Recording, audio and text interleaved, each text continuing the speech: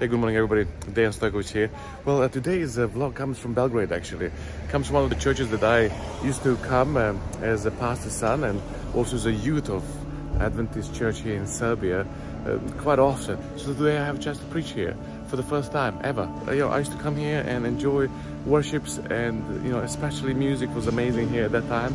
And so today, uh, uh, the vlog comes from here.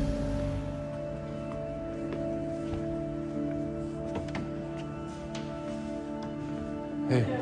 Divan dobro nam došao. Hvala lepo. Jesi dobro? Dobro smo. A bratić nam je? Ja sam iz, ja sam rodom iz Kragujevca, živo u, u Novom Sadu, sad radim negdje drugdje, tako da... Sad si u Beogradu. Sad sam u Beogradu za danas, tako je. I dobro nam Hvala lepo. So many memories. Uh, so this is a balcony, and the reason uh, this is a special place is because I always used to come from a small church, and small churches don't have balconies.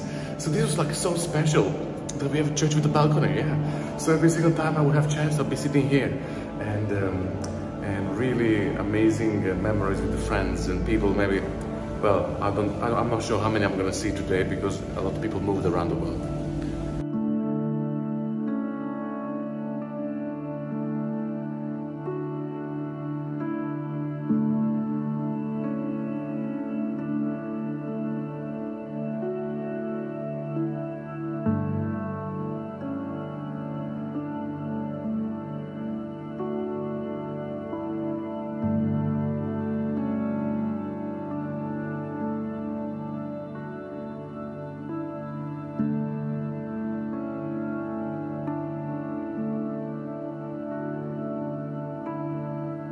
Krštavam te u ime Oca, Sina i Svetoga Duha.